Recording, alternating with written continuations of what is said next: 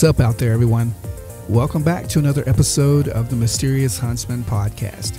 And just want to give a quick shout out to all the YouTube subscribers. I just hit a thousand today, and I know that doesn't sound like a lot to everyone, but it sure means a lot to me. And thank you so much for listening in and subscribing.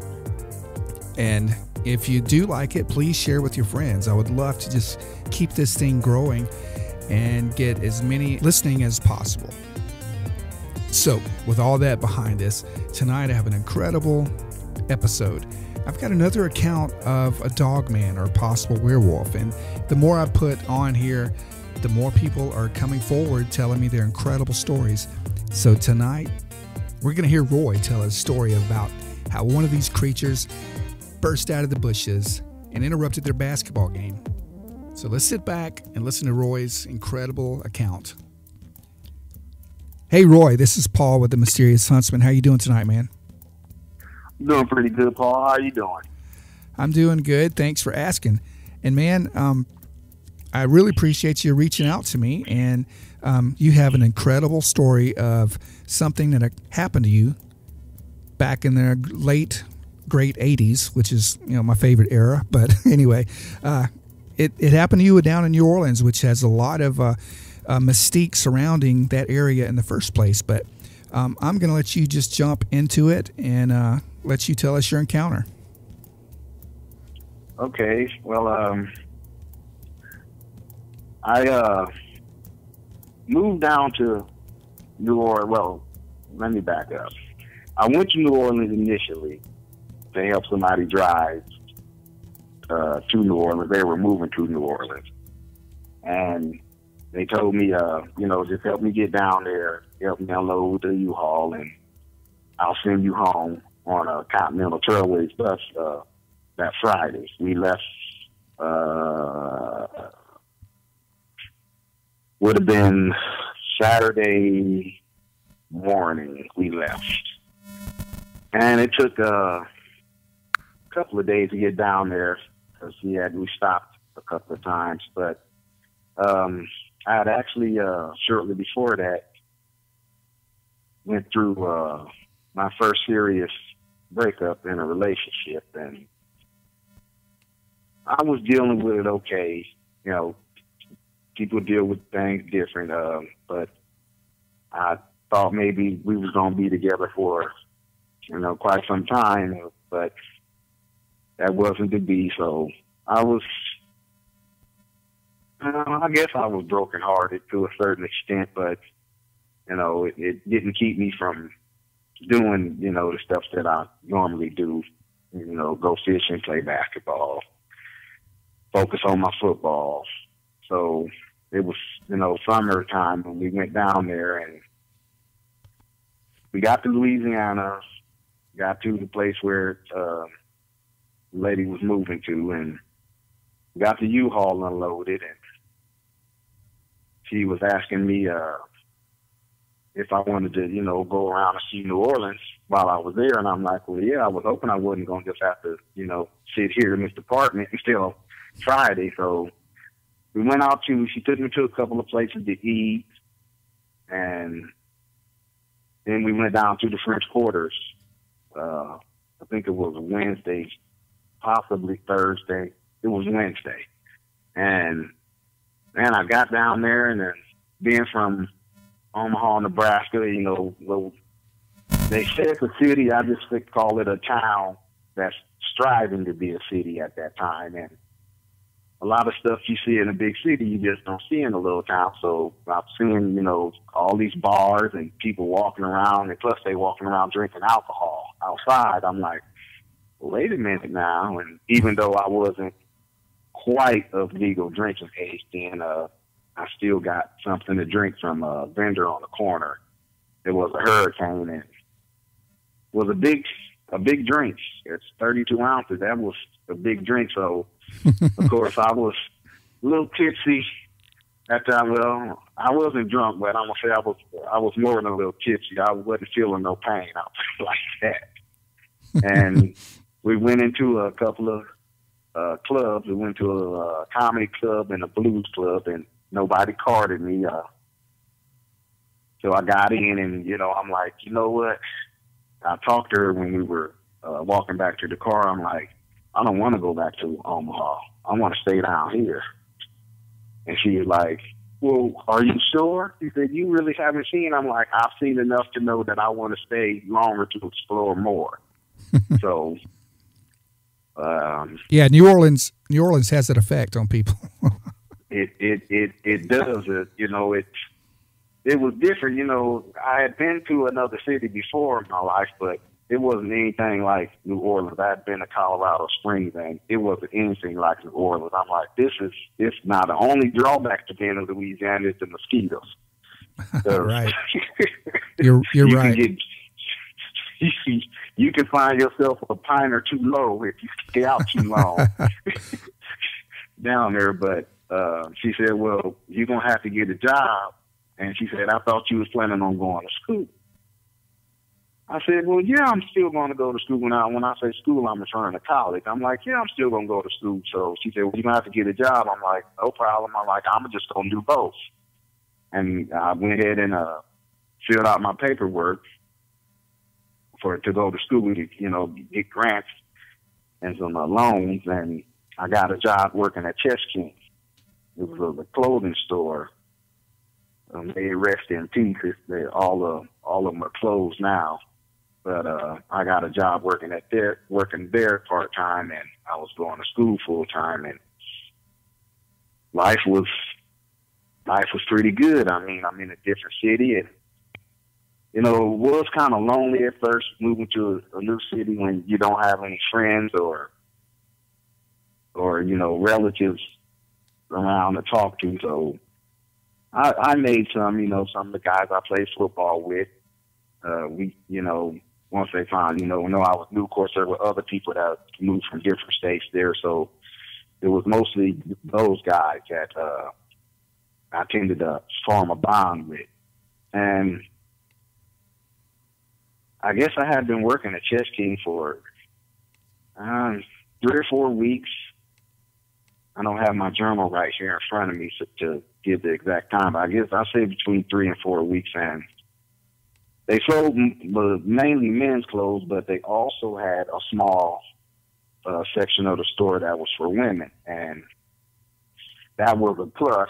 You know, being young and freshly single, and you know, women come in the store, and you know, uh, I wasn't too big on flirting with you know the customers a lot, but uh, uh, young lady came in the store one uh evening, and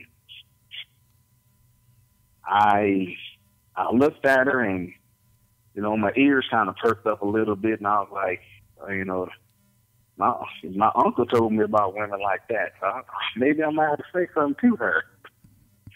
So I went over and asked her if she needed any help with what she was looking at, and she's like, "No, I, I think I got it." You know, with I stood there and I started a little conversation with her, a little light flirting, and by the time she got done shopping and came up to the register, when I got ready to ring her up, I asked her uh,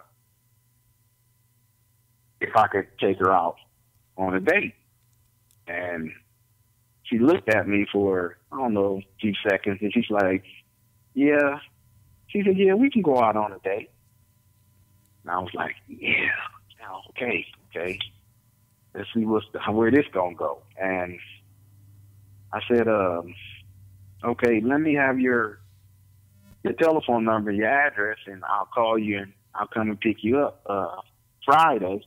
I met her on a Thursday, and I said I'll come and pick you up Friday, and you know we'll go out and get something to eat, and then if you want to go down in the French Quarters or go watch a movie or you know maybe go to a nightclub or something, let's do that. And I should have known something wasn't right when she replied because she said, Well, I can't give you my phone number, and my mother won't let any men come to the house. And first thing that to my mind was either she married or she got a boyfriend. Even though I had checked both of her hands for a wedding ring and I didn't see one, I figured, okay. I said, well, And I asked her, you know, do you got a boyfriend? Is that why I can't come? She's like, no, I don't have no boyfriend. It's just that my mother doesn't allow me to have uh, any boys or men come to the house looking for me. I said, okay, well, you want to meet somewhere? She said, yeah, there's a park not too far from my house. Why don't we just meet there? Now, at the time, I lived in New Orleans, and she lived in Metairie, Louisiana, which was from my house approximately between 15 and 20 miles. Once I uh, drove out of the city and got on Airline Highway. It was a straight shot down to get to the park. And I asked my boss before I left that night exactly where I had to go. And she told me, and I drew a little map, and she just told me, you know, where I had to make my turns and, and such. And so I got that information from her, and we closed up and went home. And I came to work next night, and I got off uh, a little bit early so I could go on my date. So I drove out to the, the park and I had on a casual attire. I didn't have on any, you know, real, you know, sharp threads or anything like that. I had on some shorts and a, a button up uh, short sleeve shirt and I had on some sandals. Now, I always, I'm really into fishing.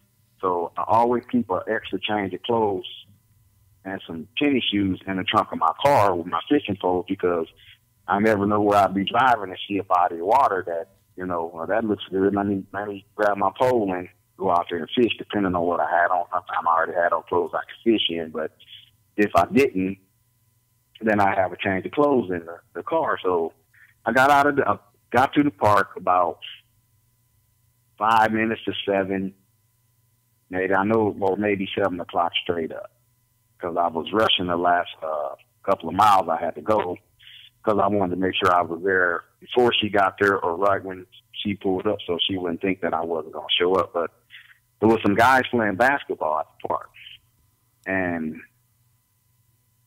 to describe the park to you, there's a lot of parks in uh, Louisiana that have they have a metal uh, top over them because it rains a lot in Louisiana. You never know when it's gonna rain. You could, you just never, and it never just, sprinkled it. With when it come down, it'd be pouring rain. So, I guess in order to make sure people could, uh, you know, the people that were playing basketball could still stay out when it was raining, they put a lot of covers over some basketball courts.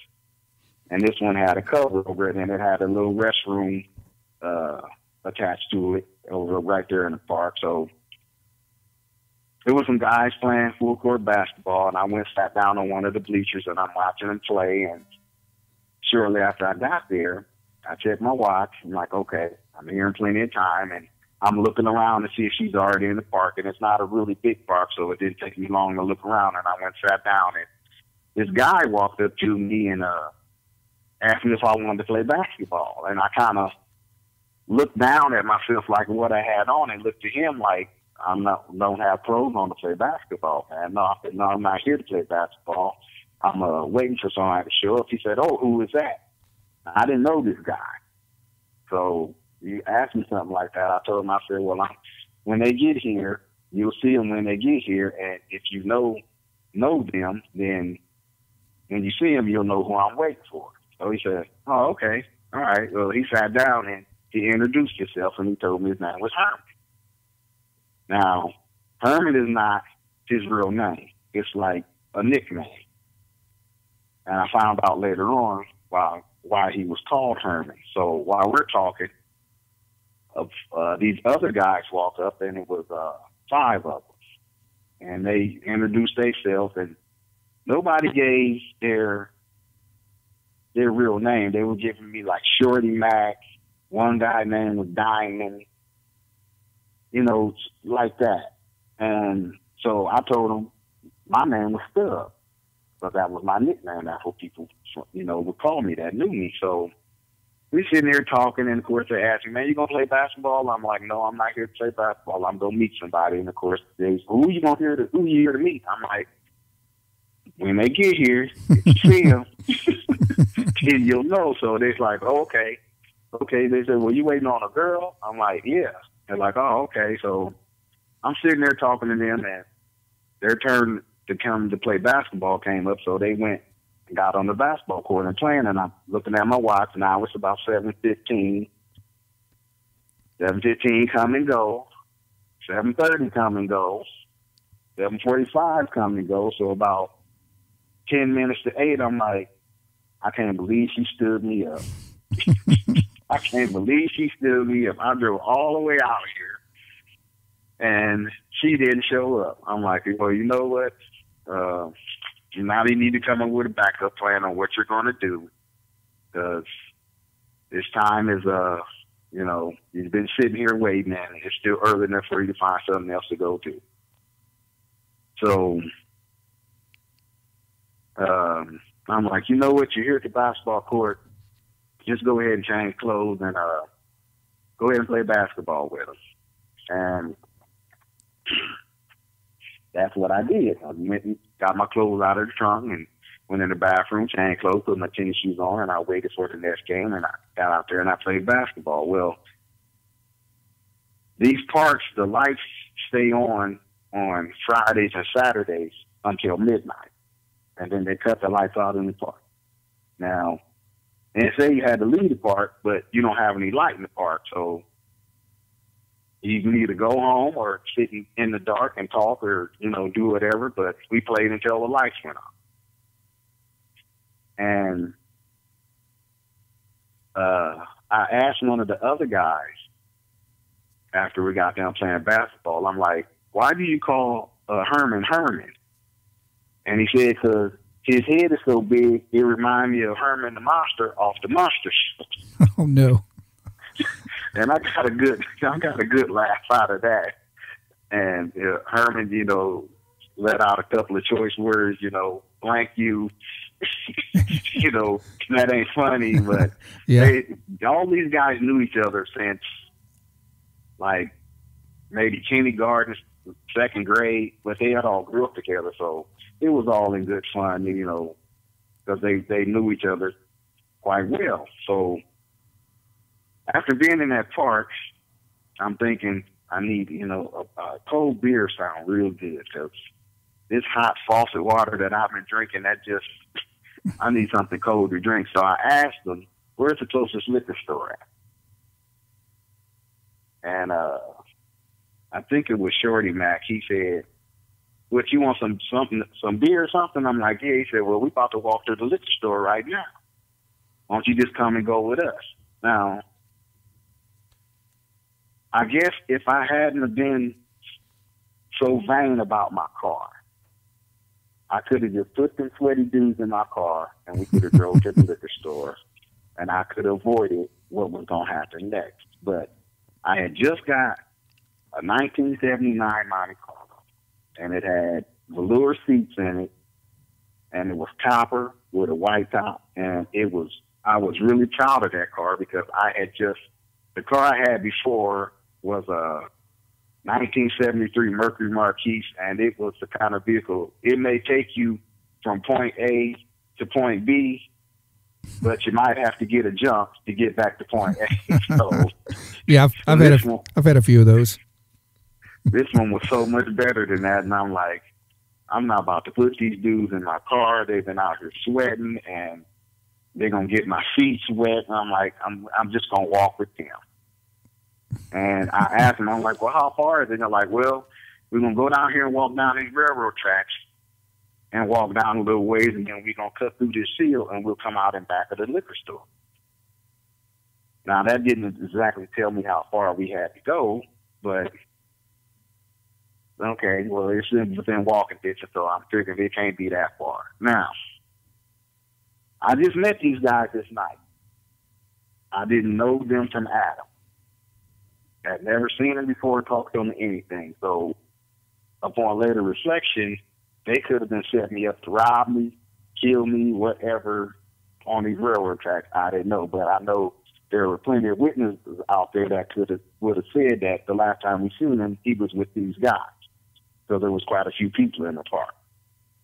So, but that didn't cross my mind because the time I spent talking to them, they seemed like, you know, normal everyday guys that just trying to get by in life, you know, and stay out of trouble. Of course, like I said, I didn't know them. But I know I had a 357 pistol in the trunk of my car, and if something wasn't right, if I got back to my car, then I could make it right. But that did it didn't turn out like that. So we exited out of the park, and you have to walk down the street. Um, not maybe a quarter of a block, and then you see the railroad tracks. And if you had to just cross the tracks and kept going straight, you would actually walk right back to Airline Highway. The park was probably a block off of Airline Highway, which is a busy uh, street in uh, uh, Metairie that runs down to Louisiana. If you stay on it, you could actually go all the way up to the New Orleans uh, airport. But we got on these tracks, and as you enter the tracks, the road kind of sloped away, well, sloped down to where now you're elevated about, I don't know, about three, maybe, maybe four feet, but I'm to say maybe closer to three, three and a half feet up in the air just because it's elevated. But on my left, and I I still don't know the compass directions to this day, so I'll be using my left and my right and backward and forward as reference points. To the left on the corner, there's a, a salvage yard, a small salvage yard. Right next to that building, going forward, is was a tire shop, and then the third building was a small lumber yard. I could actually see, well, once I got down, I could see there were lumber stacked up. But when you enter the, the tracks, behind these buildings, there's a single street light behind each building. But they're spaced apart far enough that you can walk and actually walk into the light behind that building and then when you exit out of that light, you enter an area of, darkness or gloom, and you got to walk forward a few feet until you get into the next light. And then after you get past that third light, it's just dark down there. Now, if you look to the right, there was a thistle field. And these thistles, for anybody that doesn't know what a thistle is, it's a plant that when it starts growing, it looks like a dandelion. And as it gets taller, it's got one single purple uh, flower on top, but the leaves on these things got needles, and I call them needles. Some people call them thorns, but they got needles on them like a hypodermic, a hypodermic needle, because when they stick you, that's what they feel like. Well, these particular thistles were, I'm assuming because of how much rainfall you get in Louisiana, these things were about seven feet tall, maybe a little bit taller than that but they were so thick it looked like somebody had planted them there and they just grew wild even though this uh, uh, a wild plant i don't think anybody planted them things but i know if you had been in them you it would have been pretty bad for you as many times as you would have got stuck by those those needles. So when you're on the tracks and i'm five ten and a half well almost five eleven i could just see over the tops of some of them, and then, yet there was still some in there that I couldn't see over the top of. But I could see houses. There were probably that field was probably 150 yards. I don't think it was feet. I believe it was yards, but it was about 150 yards through that across that field. You could see the backs of some houses on there, some of them had the back lights on, and you know some of them were just dark. Well, we're walking along. We got behind the first building, and we're just about to walk into the light. And we're walking spaced apart. There's three guys in the front, two guys in the middle, and then me and Herman were bringing up the rear. And Herman looked at me and he said, "Hey, Stubb," and I'm like, "Yeah." He's like, "What do you know about babies?" And I, you know, I looked at him and I had a puzzled look on my face. I'm pretty sure I don't know if he could see it or not, but I had a puzzled look on my face, and I'm wondering, what the heck is he asking me about babies? I said, I know a little bit about babies. You know, I wasn't an expert by no means at that time. You know, later on in life, of course, I, I still not an expert, but I got way more knowledge now than I had then. But I looked at him and I'm like, well, what do you want to know? He's like, you know, he said, um, how do you change a diaper? You know, you know, what do you do when they cry all night? You know, stuff like that. And I looked at him, I'm like, after he asked me about five questions, I'm like, wait, I said, why are you asking me about kids? He said, because my girlfriend's about to have a baby in the next, it's supposed to come this week, but it might come next week. And I'm like, oh, okay. I said, is this your first baby? He said, yeah, well, I got nieces and nephews that I have babysat and know how to change change diapers and, and uh stuff like that. So I didn't um I answered as many questions as I could for him. And I told him, I said, first thing you need to do is realize that your life is going to change, but it's, it's not going to be anything bad. You're about to be a dad, and, you know, just take your time and think about what you're doing, and you'll be just fine. And I said, and plus, you can always ask your mother any questions that you have that I can't answer.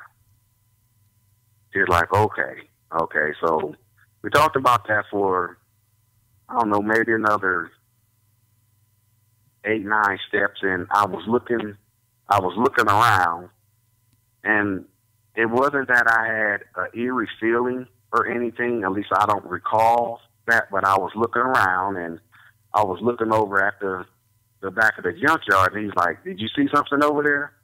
I'm like, "No, I just was looking over there." I said, "Why?" He said, "Cause it's a dog that be in there, and sometimes he get out, and he he'll try to bite you." I'm like, "Oh yeah." Now, I've seen mean dogs before that they didn't bother me too much. Now we walking on rocks. I'm like, all these rocks around. I'm not worried about no dog.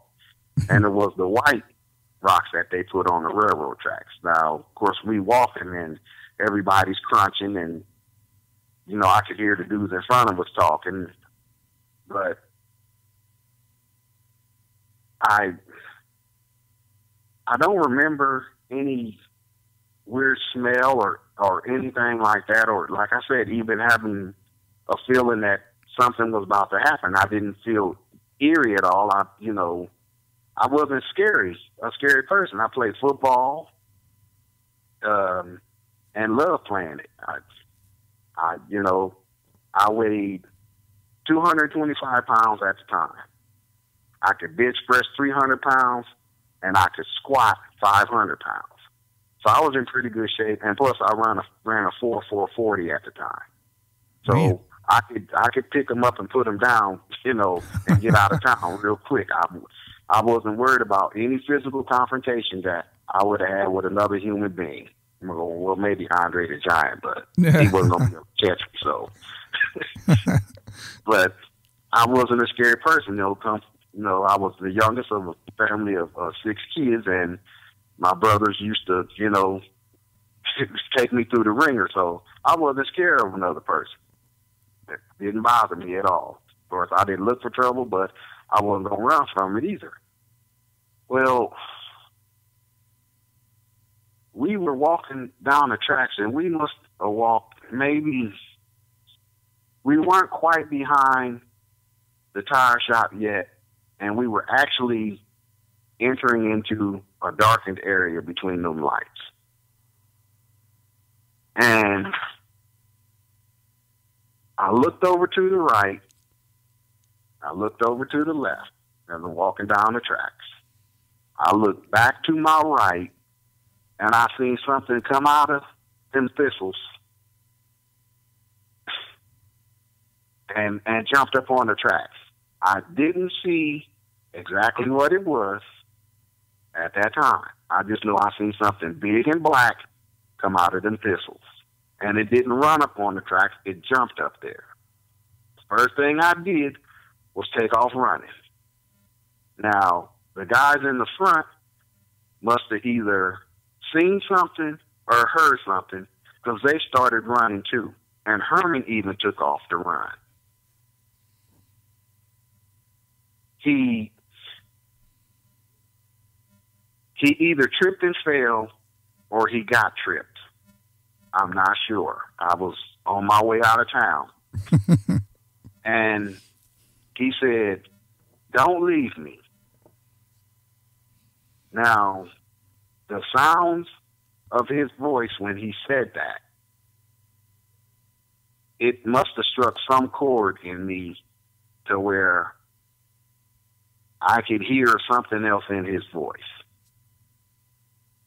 Now, I'm thinking, okay, it's that dog. And he, all them fellas told me, if the dog come running out, just pick up some rocks, start hollering and yelling at it, and throw the rock. So when he said that, I put on my brakes and I turned around. And as I was spinning around, I bent down and I grabbed two handfuls of them rocks and I ran back toward him about five or six steps. Now, when I seen Herman, he's laying on his back, but he's propped up on his elbows. Meaning he's got the uh, upper half of his body raised up because he's propped on his elbows, but he's on his back. And he's looking at this thing over the top of him. And once I took, I may have ran, I know I didn't take 10 steps, so I'm going to say between six and eight. I ran that close, and I had my arm cocked back to throw the rocks, and I had my mouth open, you know, here. And I, and I, saw a dog. It was freaking big to be a dog. Even though you can see ears and it, and I, it's in the dark, so I can't see it clearly. I can see like a silhouette of it. And I'm I'm trying to get my hands to stop shaking. I'm sorry. I when I saw that thing, I'm like, what in the hell is that? Of course, it probably was a bit more colorful than that, but what what is that? And I can't. I couldn't. I just. I didn't know what it was. I I did not know what it was, but I just know it was big, and it was looking at Herman, and it had its face approximately six to eight inches away from his. I mean, it was really looking at him, and Herman is laying there, and he's looking, and he's not moving. He's not making a sound. He's just looking at, and this thing is looking at him, and it's ignoring us. It's not paying us any attention, and you know, when I stopped and my arm came down, I guess I dropped the rocks out of my hand, and the thing looked up, and I saw two. The closest color I can give you of the eyes is the color between a full moon when it's that yellow orange, and then you have that bright white full moon. It wasn't either one of those colors totally it was like if you mixed them and went right in the middle, it looked like a dead white. But it, it and they weren't glowing. The reason I could see the eyes like that is because of the light from the street light that was uh, illuminating. But there wasn't an internal eye shine. It was because of the the surrounding light that were there. And I'm I'm I'm looking at it and my mind is like, what, what the hell is that? And I started thinking, that's a monster. That's, that's a monster. Or that's the biggest dog that I've ever seen. And you know, the other guys had, I guess, ran down a little bit and then they stopped and they came back. And I'm standing directly in the middle of the tracks. Herman is right in front of me, about I say between eight, no more than 10 feet away. So I'm close. I can hear this thing breathing. And when it looked at me, it just, it wasn't like an animal looks at a human being. There was something more there. Because when I locked eyes with it, it, it looked at me and then it did a quick scan of the guys that was behind me. Now, I didn't hear them running anymore, so I knew they weren't running or they had either ran out of earshot. At that time, I'm not taking my eyes off this thing to find out where they are. I'm not going to take my eyes off of it. And I started hearing somebody say, What the hell is that? What, you know, then I started hearing all of them. What the hell is that? And I guess they couldn't see it clearly because they must have been lined up on the tracks behind me, and I'm standing in the middle, so they would have had to either move to my right or to my left to see around me to be able to see it. And um, some of them did because that's when they really started. What the hell is that? Of course, it was a little bit more colorful, but uh, I'm just going to say, what the hell is that? And Herman's not moving he's not, you know, it's it's not doing anything to him. But it had went back to look. Once it did a quick scan of us, it went right back to looking him, and it was looking him dead in his eyes. I could see that because I was close enough to see it, and I just, I'm still trying to get my mind to identify this thing. What what what is that? So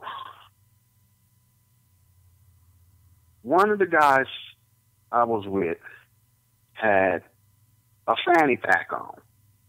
You know, back you know in the '80s and stuff, those were uh, being worn quite a bit by guys. You can you know you put your wallet and your keys and you know money and stuff in there, or whatever you need to carry around. If you had on yeah uh, sweatpants or gym pants, don't have pockets and stuff on them. Hey, I, so I, I, I, still know guys that wear those.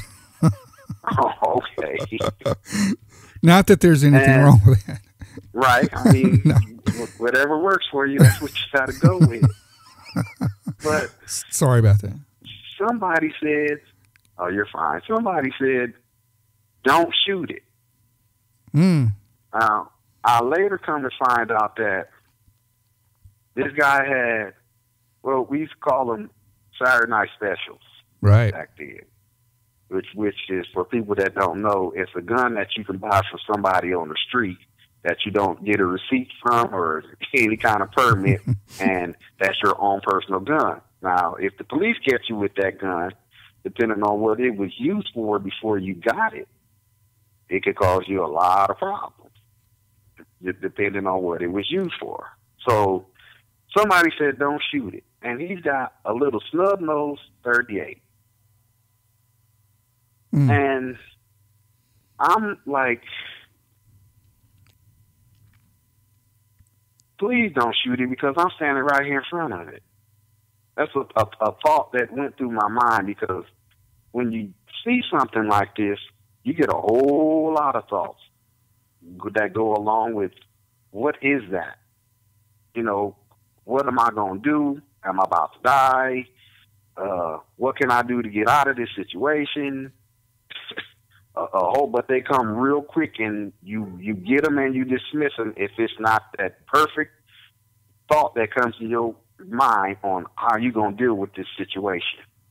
And that's where I was at then. I mean, I'm looking, and when she looked at me, I didn't realize it at the time, but I urinated on myself just from the, that little quick look that it gave me.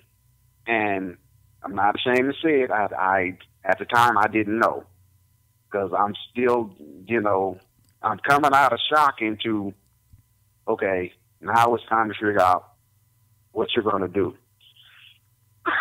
Excuse me. And as that thing is looking at Herman, I took a quick survey again of my surroundings because those buildings that we were walking behind, they had that tall chain, three of the wire at the top. Yeah. And I knew noted uh, power shop that the I could actually access the roof and if I ran across it and. Hey, Roy. Hey, Roy, you're breaking up a little bit. Do you have a good service? Yeah, I'm breaking up. Yeah. Oh, I'm sorry. Maybe I got the, the phone too close to my mouth. Is that better? Yeah, it is. It is. But no, it sounded like uh, there was just a lot of interference. I don't know if it was on my end or your end, but but go ahead, man. I can hear you fine now. Okay. And um, I looked at that fence and I noticed, as I said, I could get to the top of that building and run across the top or not be able to jump, drop down off the front of it and I'd be right next to Airline Highway. Now, you can hear cars going up and down Airline Highway, even though it's approximately maybe twelve twenty at this time because I know the liquor store closed at 1 o'clock. And they, but they said we had enough time to get there when we left from the park. So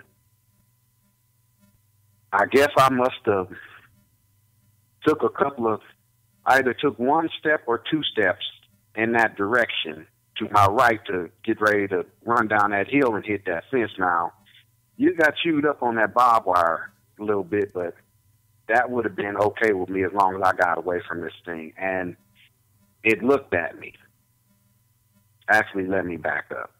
That's not exactly how that happened. When somebody said don't shoot it, that thing looked up and it looked past me and then it took two steps forward, just two, and that put its upper body into the light to where now I can clearly see it. When I when it put its hand, and yes, I did say hand, when it put its hand out into that light, and it it reminded me now that I've had all these years to think about it.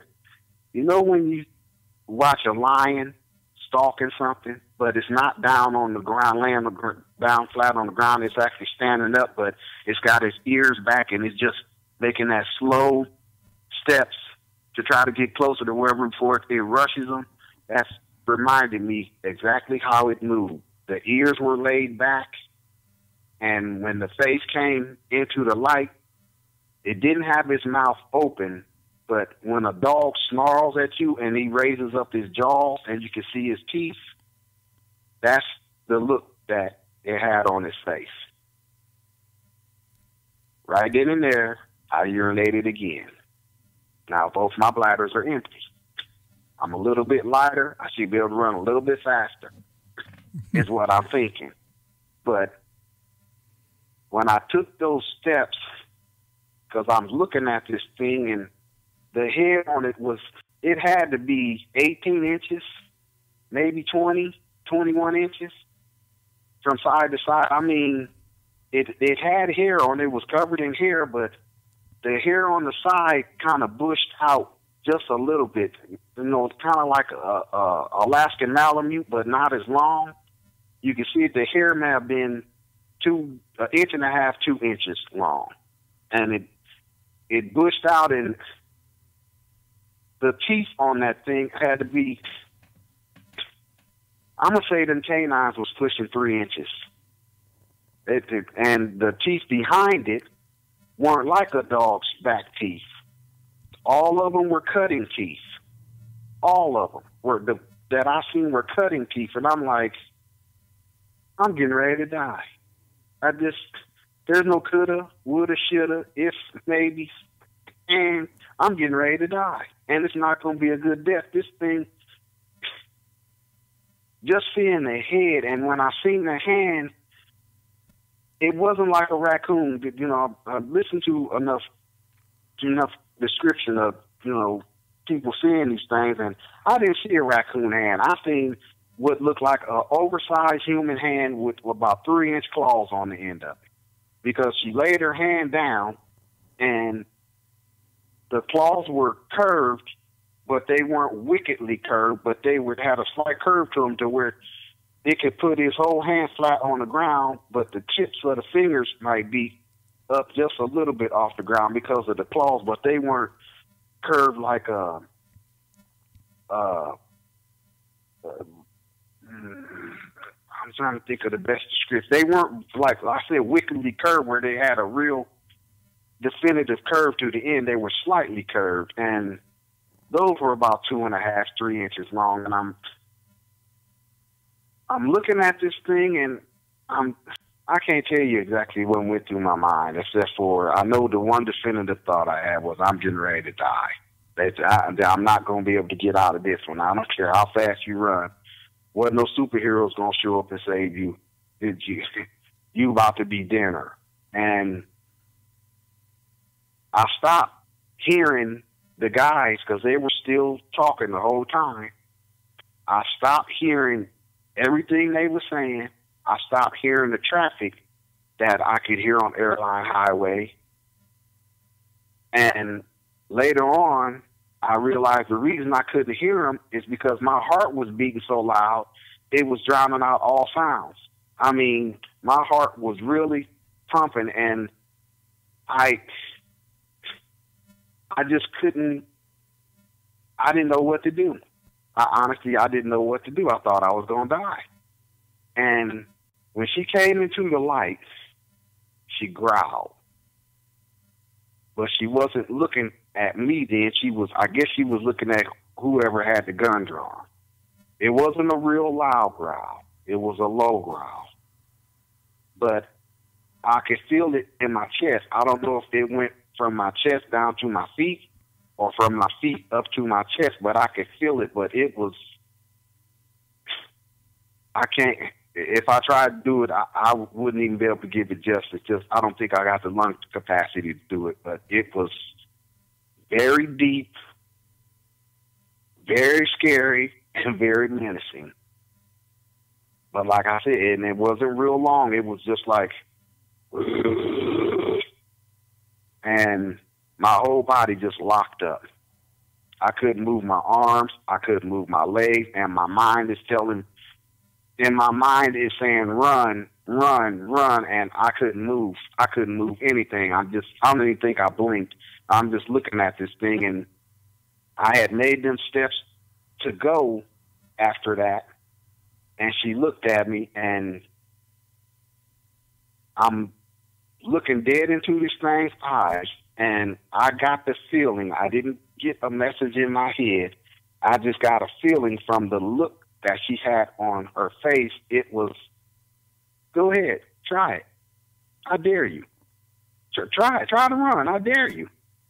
Because hmm. now she's closer to me that she's taking these two steps, and she came forward far enough to where her hindquarters are right over Herman's face. And he still hasn't moved. He hasn't made a sound. He's in the exact same position he was in. And I'm trying to figure out. Well, not then I wasn't trying to figure it out. Later on, I was trying to figure out how come he didn't try to get up and run? How come he didn't scream? How come he didn't do anything? He just, the same position, he just locked there. And I, I'm assuming it was from the amount of fear that was going on from seeing that. I know what my mindset was, and I'm assuming that was the mindset with the people that was with me, but they were still, man, what, what is that? And one dude said, it's a monster. It's a monster. It's a monster. He just kept saying that. And then I hear somebody take off and run. I didn't turn around and look and see because I'm not going to take my eyes off this thing. I'm keeping my eyes glued on it. I want to be able to see if it's going to now come toward me, if it's going to decide that I'm not worth it and run past me to get the other dudes. I just, I had never seen anything like that in my life. And I was not prepared in any way to deal with it. Now, if I had had my gun with me, yes, 100%, I would have emptied them six shots into that thing. Uh, and it would have been in her head because that was close. The arms on this thing were the forearms on it were were bigger than the bicep. I didn't know that at the time because I didn't mm-hmm. get a real good. I could see the bicep. I'm sorry, the forearm clearly, but I couldn't quite make out the bi the size of the bicep. But that bicep had to be close to the size of my calf at the time, or well, actually bigger, probably about twice as big as my calves when I used to work out, and that would make them. I couldn't take my hands and try to put them together in an O shape to make my fingertips touch. That they would have met around the forearm of this thing. That's how big it was, and it was muscly. Even with the, the hair that it had on it, I could see the muscles that were bunched up because of the weight that she had on it from the position that was there Now I got a question if, so, if I can jump in real quick. Yes. I notice you, you keep referring to it as a she. Is there any reason why you think it was a she? I know that it was a she. All right. And um, I'll I'll tell you why and just just give me just a little bit more time and I'll tell you how I know it was a she. All right. Well, after it did that, and somebody took off running, I'm standing here looking at it, and I, I can't tell you how much time went by. To me, it seemed like time had stopped. And I noticed I was able to hear again. Even though my heart is still pounding, I, I noticed I was able to hear again because I started hearing traffic. Well,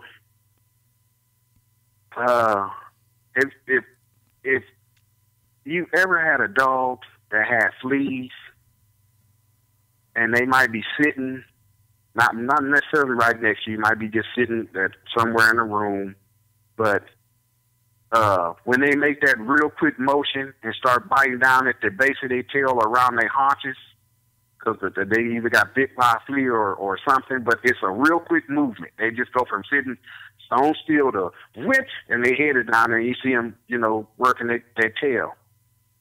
This thing jumped like that.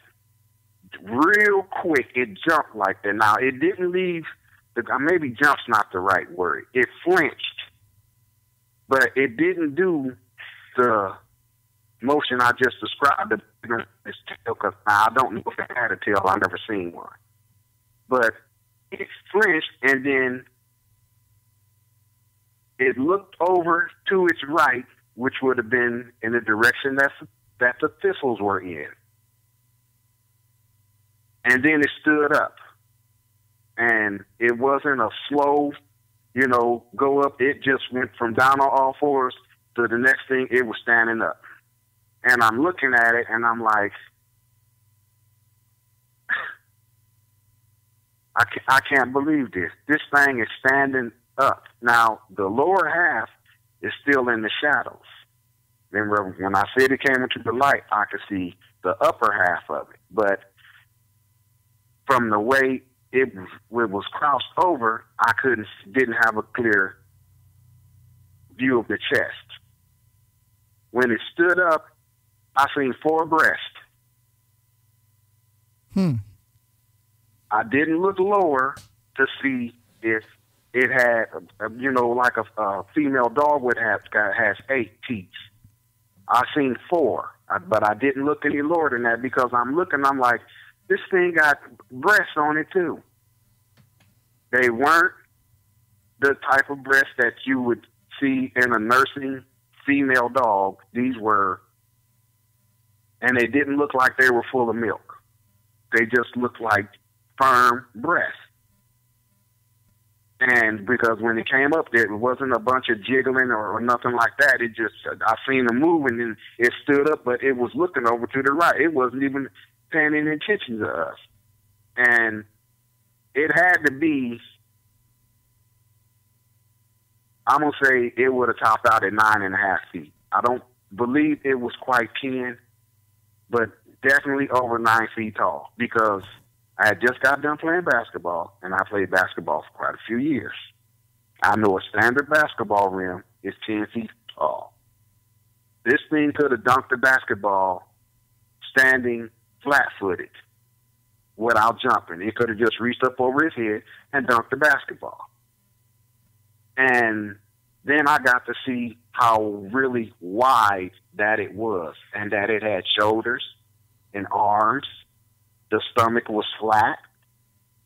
I didn't see any, any uh, bulge of, of any type. Um, if I had been a little bit closer and it had abs, I could have told you that it had abs, but I didn't see them. But in somewhere in my mind, I believe it had abs on it. But it was it was big, and that's when I got to see the bicep. That was ridiculously large. It wasn't as big as the forearm, but it still was a whole lot bigger than one I had seen on any human being. And I played football, high school and college, and I've seen some big human individuals, six, seven, six, eight, six, nine, 320, 330 pounds. Big guys. Of course, they weren't nowhere as cut up as this thing was, but it looked like it had muscles everywhere. The neck was, even the neck was thick. But that head and the ears weren't, you know, I don't recall seeing any tufts of hair on the end of the ears, and, and I looked at it, real good. I don't remember seeing any. It had hair on its ears, but it didn't have tufts on the tips. They weren't extremely long, and they didn't sit like on the top of the head. They were more to the side. But the size of the eyes were about big as golf balls, maybe a little bit bigger. I mean, everything about this thing was ridiculously big.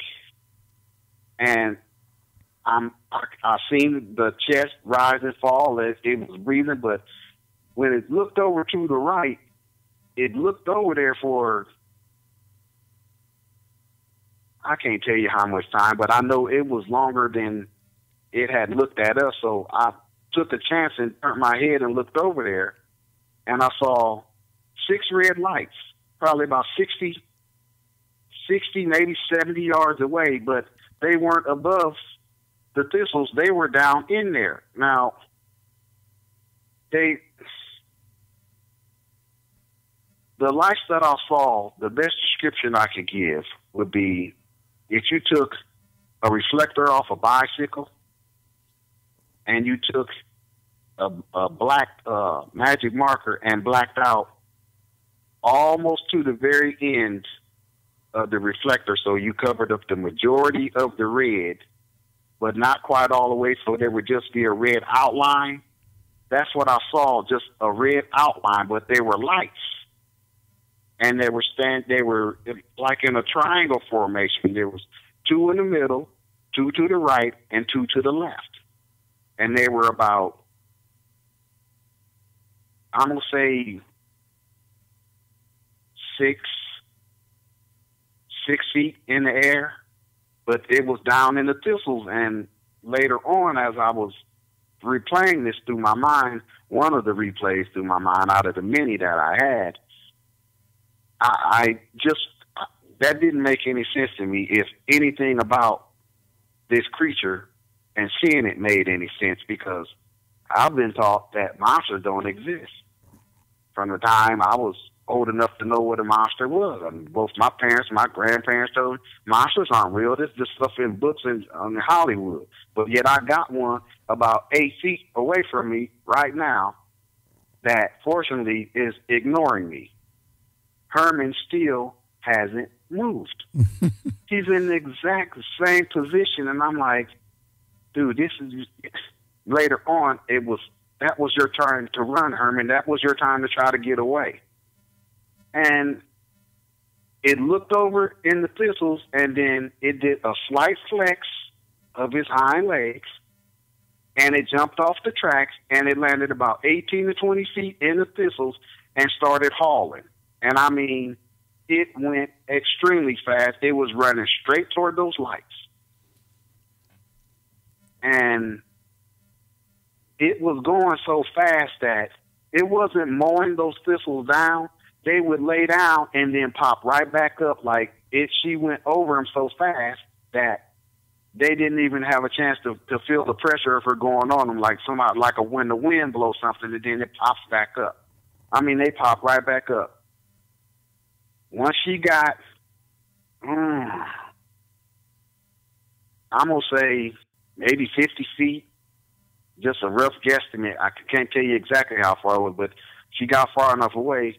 First thing I did was run over and uh, Diamond or was it Shorty Mac? It was one of them two, but they came. Everybody came running up, but we was the first ones to get to Herman. And first thing was, Herman, are you okay? Herman, you okay?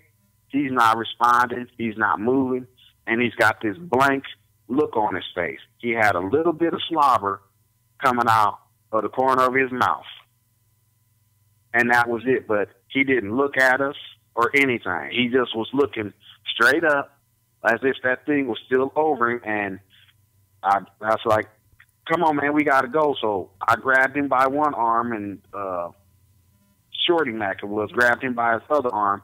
We pulled him up off the ground and I put his arm around my shoulder. Other guy did the same thing and we started going down the tracks. And I'm like, well, I'm following the other dudes and I'm like, why aren't we going back toward the street? We need to be going back toward the street. That's what I'm I'm thinking. I didn't say this out loud, but that's what I'm thinking. And they was like, Well, we closer to the liquor store. Let's just get up there. Now we still had to go down past this other light and then go into total darkness. And then we gotta go through a pathway that goes through them thistles. Now, I guess with my state of mind at the time, I'm not really thinking that, no, I'm not about to do that. I'm with these dudes and I'm figuring, okay, we all bunch back up together again. Now I'm just gonna follow y'all because y'all say it's closer to get to the liquor store than to go back to the park. So let's go with them. But Herman's not really helping us you know, lifted. We drugged him more than he walked. I put it like that.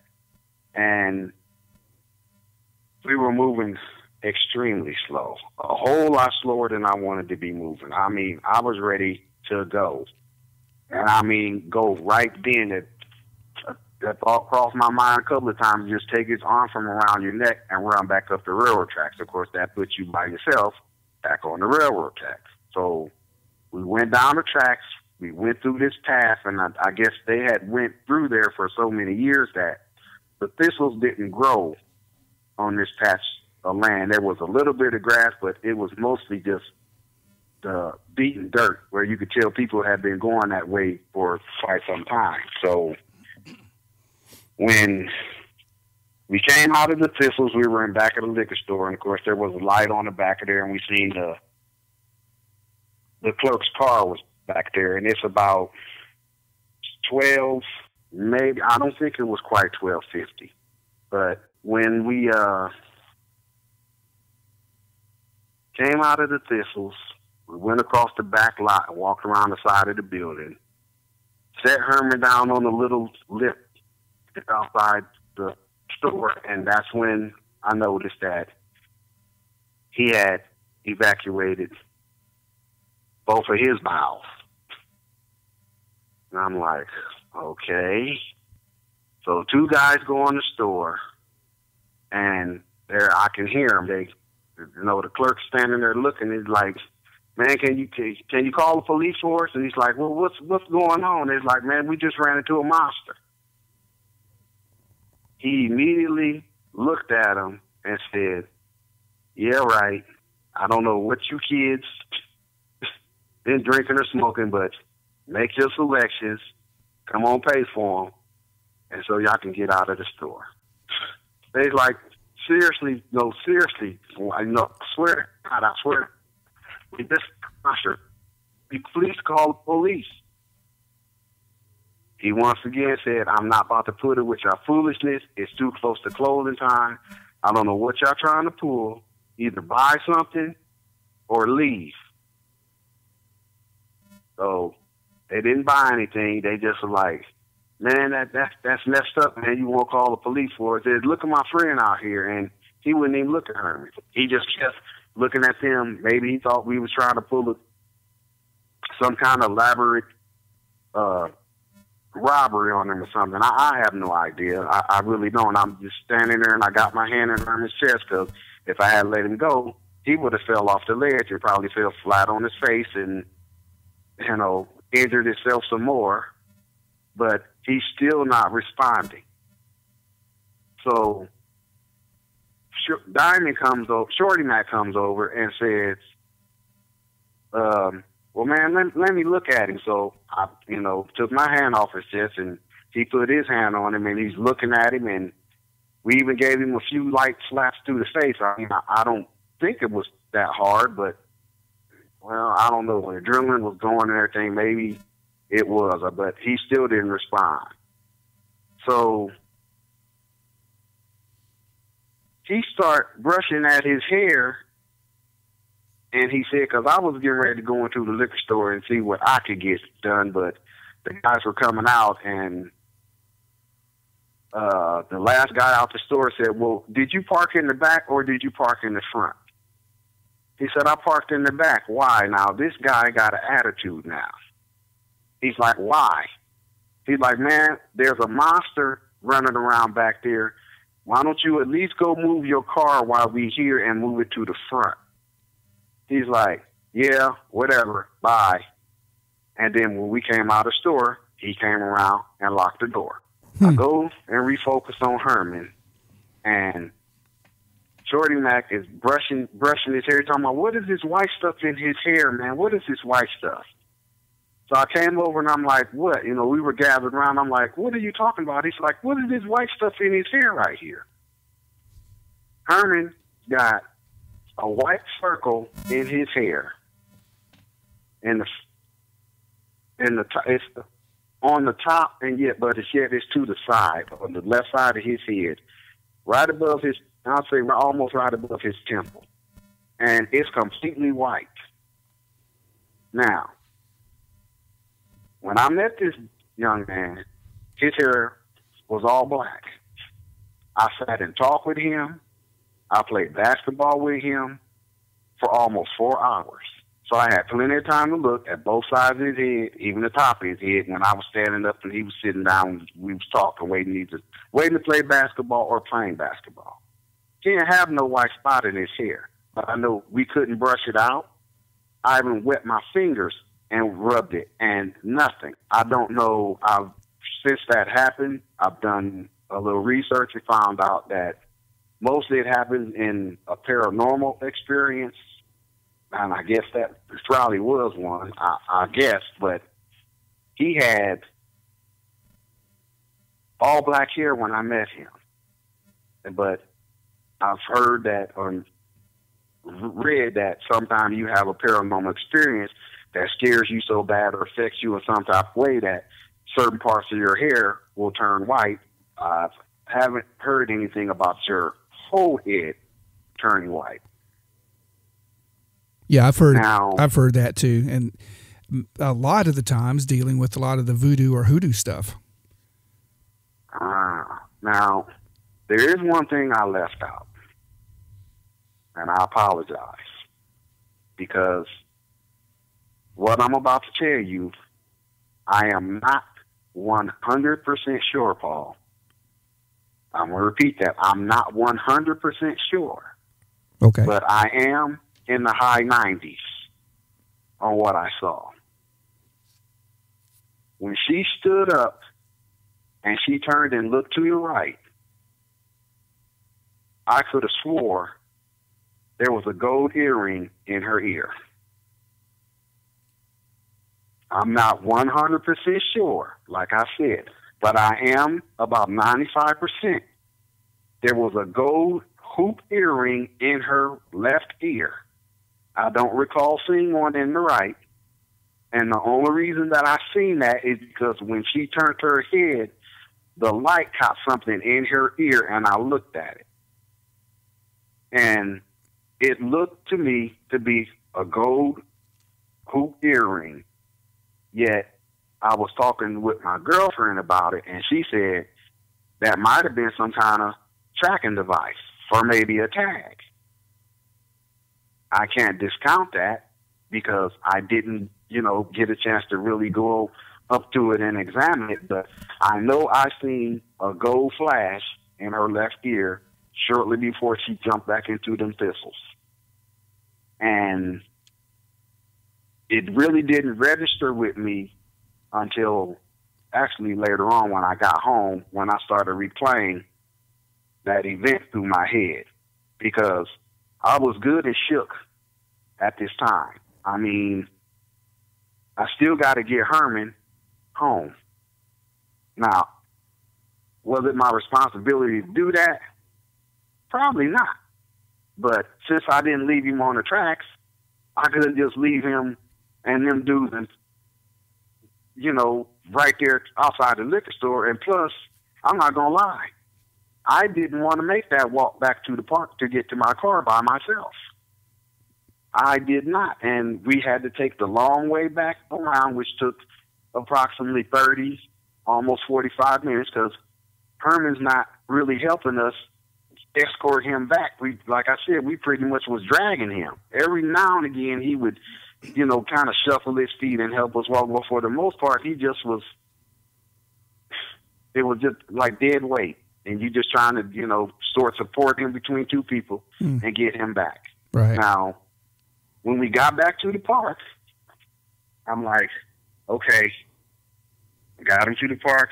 Let me get to my gun, and uh, Diamond was helping me this time, and Instead of them stopping in the park, we walked right across the park and went across the street and went toward Airline Highway, one house. And then they walked up in the yard and we, they went up on the porch. I said Herman down on the porch and leaned him up against the porch railing. And one dude was ringing the doorbell and the other guy was, was beating on the door. Now it's after one o'clock. It's actually after one thirty in the morning. So I didn't know whose house we was at or anything like that. But when uh, the lady came to the door, she had on her night clothes. Of course, she's like, "Who the hell is ringing my doorbell and beating on my door like that?" Of course, that's not exactly what she said, but that's what I'm going to say. She said. And the first thing, all, every, they started talking. I wasn't saying anything. I'm just looking. Something's wrong with Herman. Something happened to Herman. Okay, I put two and two together. This is Herman's house, and that's Herman's mother. She's like, "What are you talking about?" He said, "Something, something, something happened to Herman."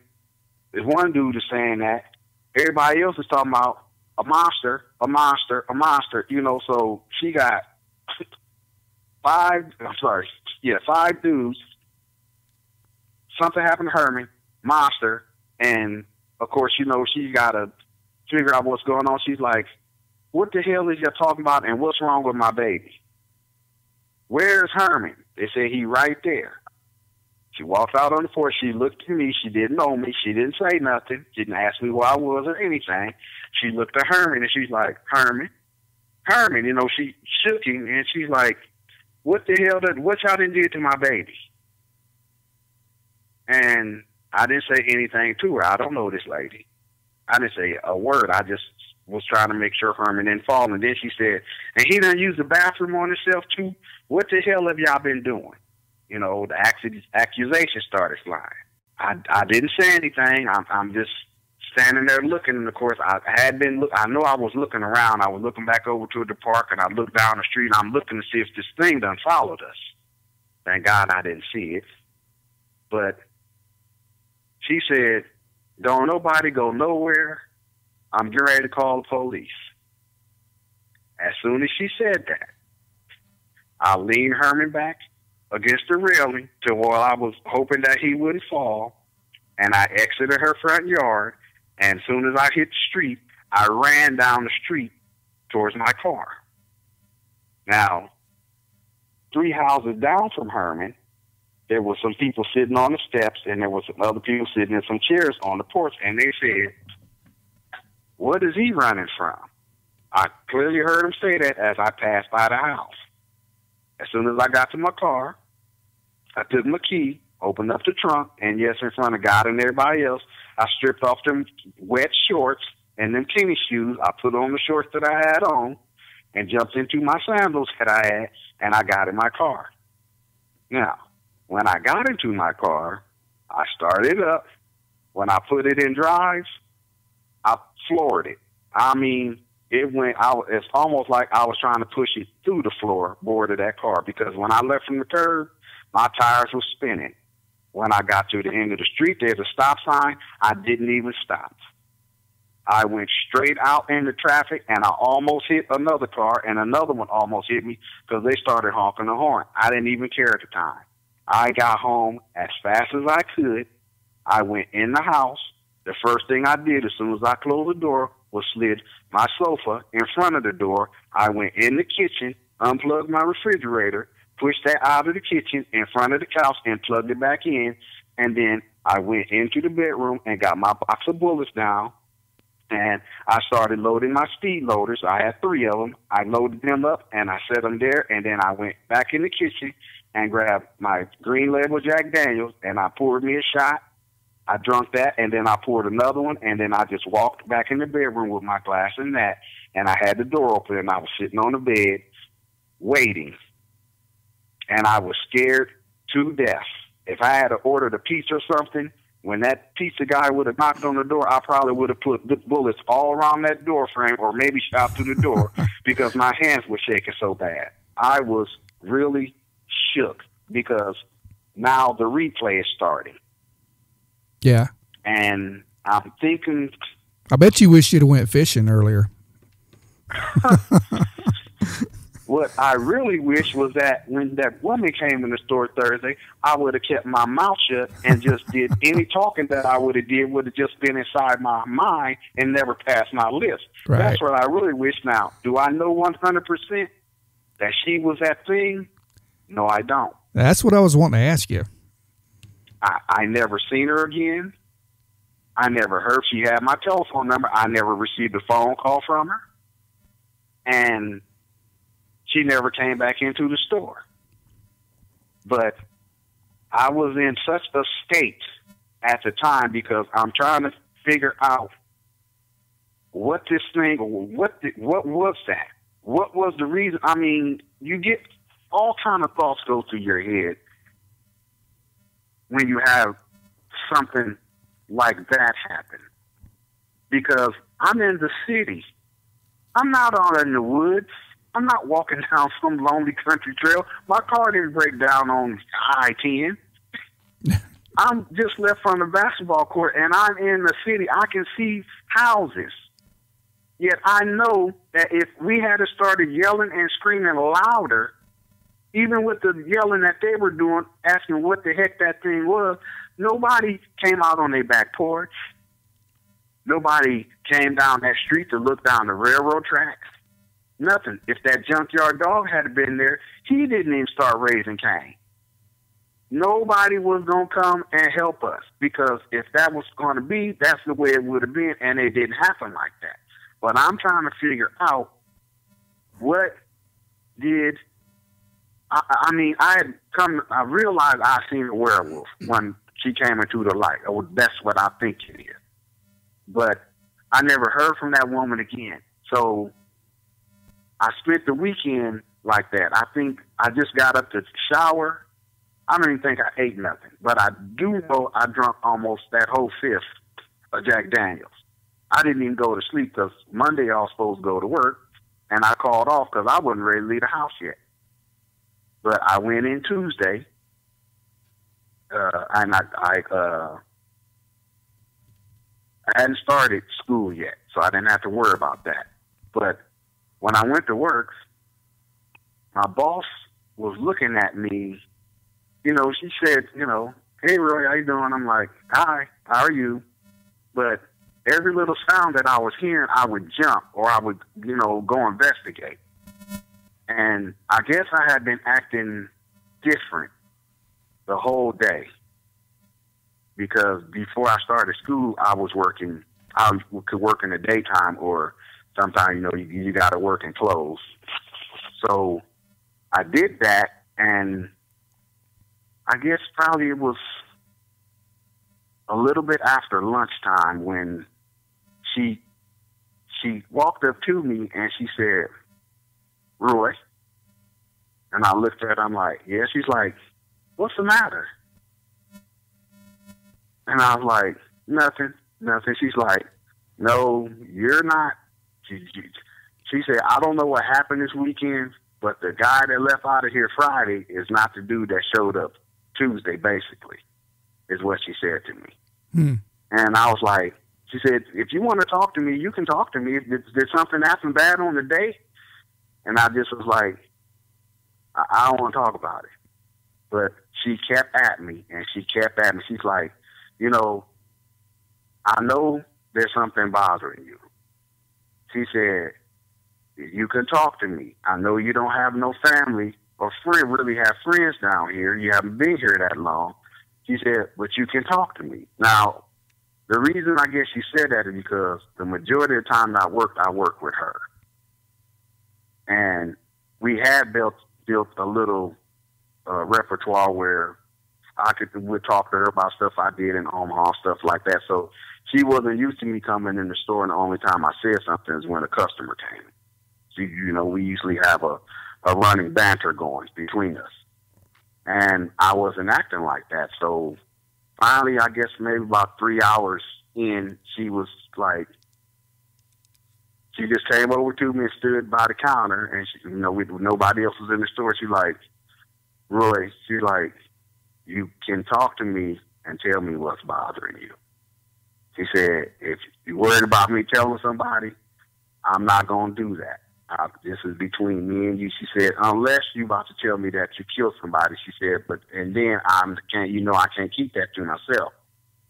I said, I really don't want to talk about what happened because you're going to think I'm crazy. And she said, Why would you say that? I said, You're going to think I'm crazy if I tell you what's about what I've been thinking about. She said, just tell me. And she reached over and she patted my hand and she said, just tell me what's going on you. She said, I can tell something is really bothering you. So I told her. And the whole time I was talking to her, she didn't interrupt me. She didn't ask no questions. She just looked at me and I can actually tell you the exact pose that she was in. She had one arm uh, laid on the counter and she had her other arm resting uh, right next to it. She didn't have her elbow on top of her hand. It was right next, and she had her in her hand. Where you put your hand in the palm of your hand on both sides of your face. She, she just looked at me, and I started. I, I, Hey, Roy, my hands. You're cutting out again.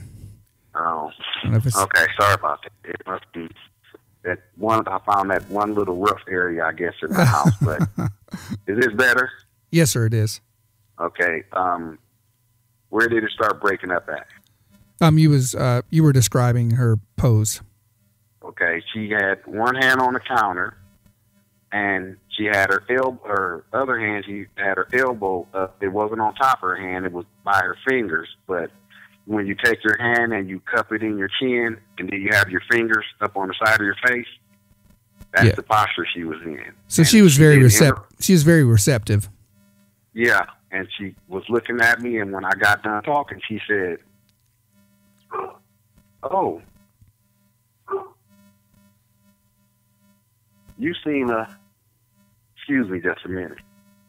Oh no, man, stop it!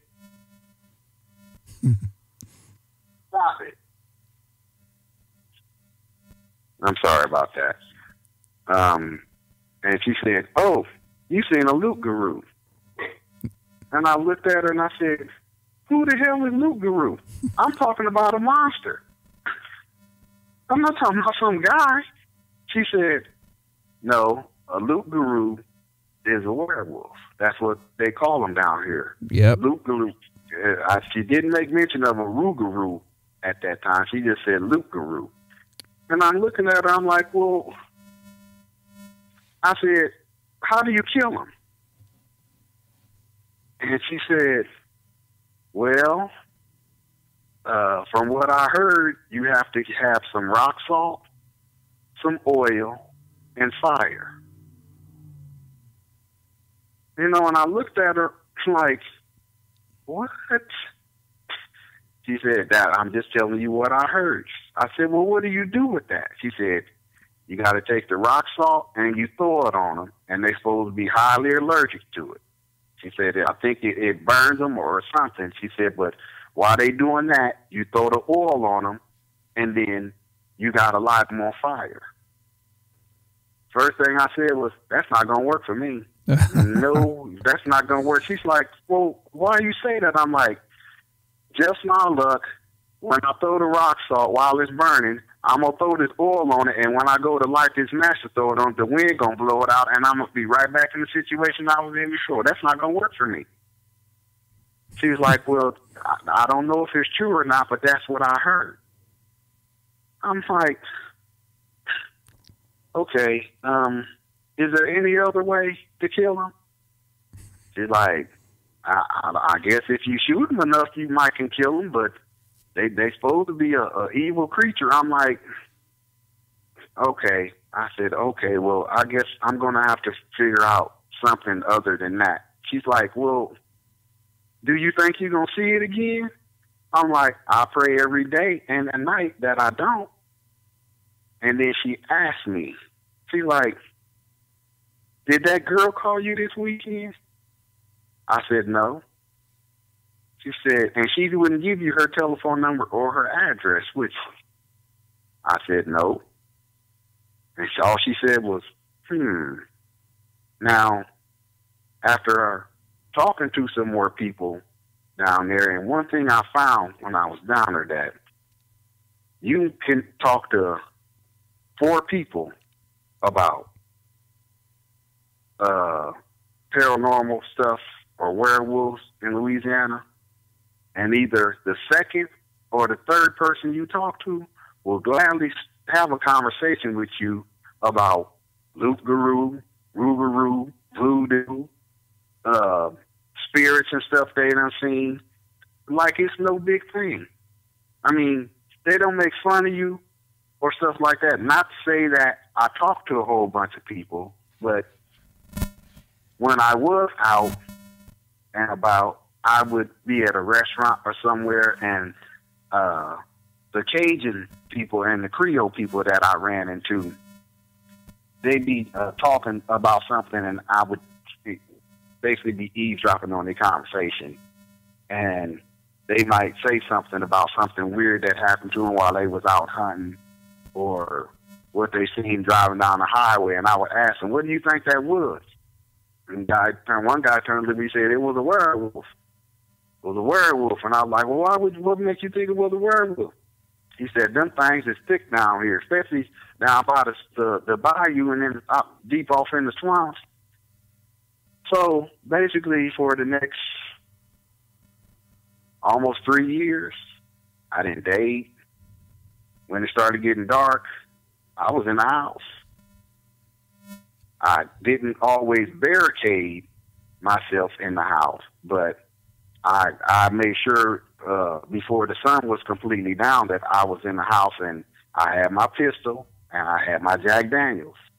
And the, the, I'm gonna tell you the reason why I left instead of staying at Herman's. When that 357 I had, I bought that from a dude on the streets in Omaha. Now he assured me that it hadn't been used in any crimes to the best of his knowledge, but he didn't buy that gun from like the pawn shop or a gun shop. He bought it from somebody else. And but I asked him several times, and it was a guy I knew. I had been knowing him since probably about tenth grade. if he had used if that gun had been used in a murder or a crime. He said nope. It says, as far as best of my knowledge, has never. I never used it in a crime, and the person that I got it from never used it in a crime. I'm like, okay, is it stolen?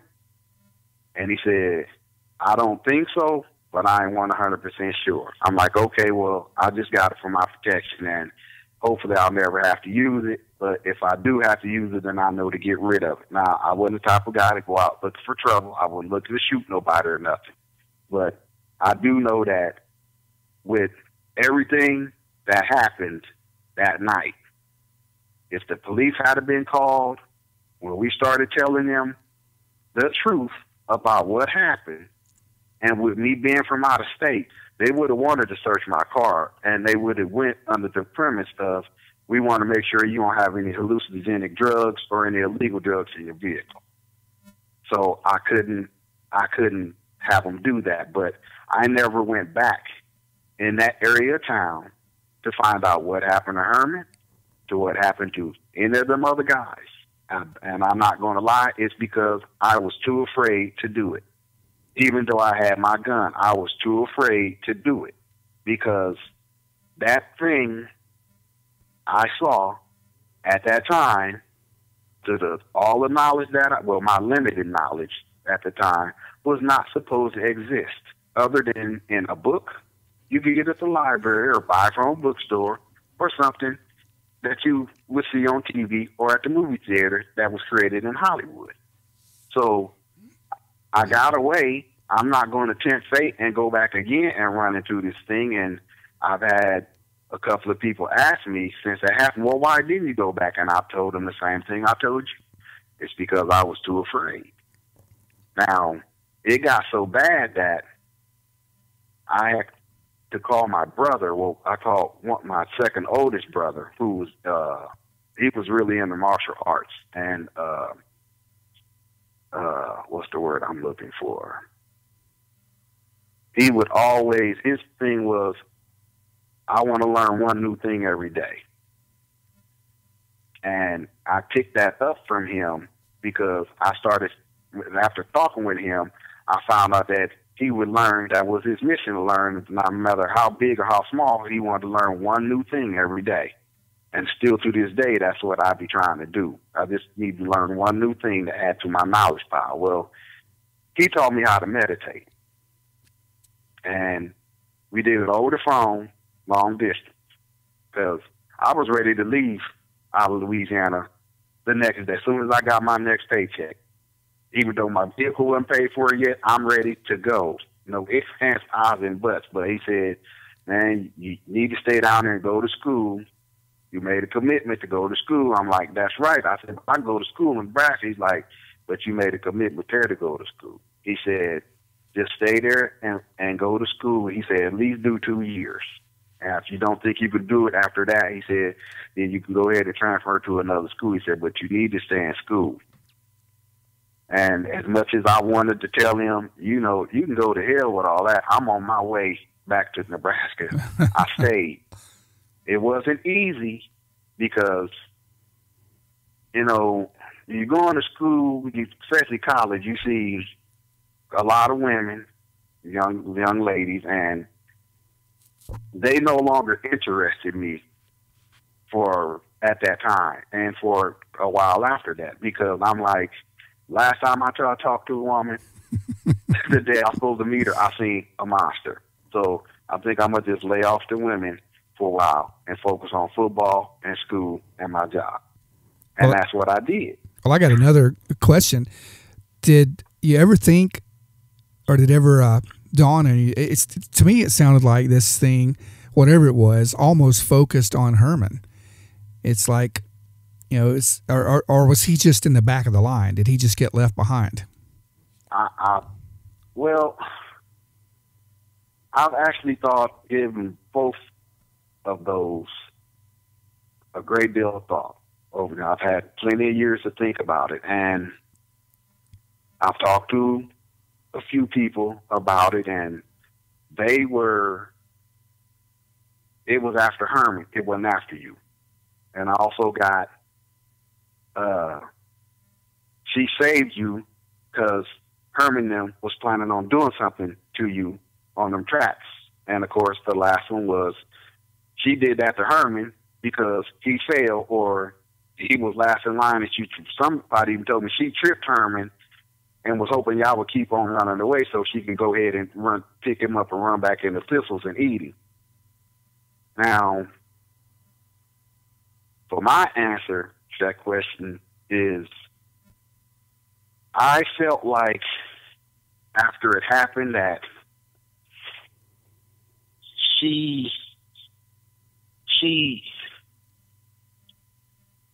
you know one some days it's it's it's would go along the lines of she um I started phone.